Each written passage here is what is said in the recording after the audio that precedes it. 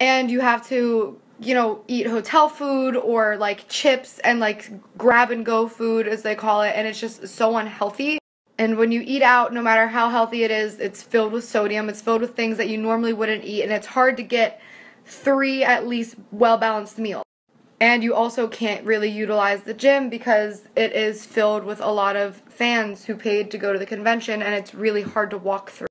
Again, I don't want that to be douchey like, oh, I can't go to the gym because I'm getting bombarded by fans. It's not like that. It's just like you can't. At the end of the day, you can't. Everybody wants like a picture, you know? So it's like two full travel days where I have to eat airplane food and airport food, and then I'm there for three, four days. I forget how many days eating shit not being able to work out, not being able to just like be healthy, and I gain weight every single time I go. I break out even worse. It's just like I don't even have time to go to therapy lately, and I'm just like so high strung. I finally just went for the first time in like two months, and I just, it's so much.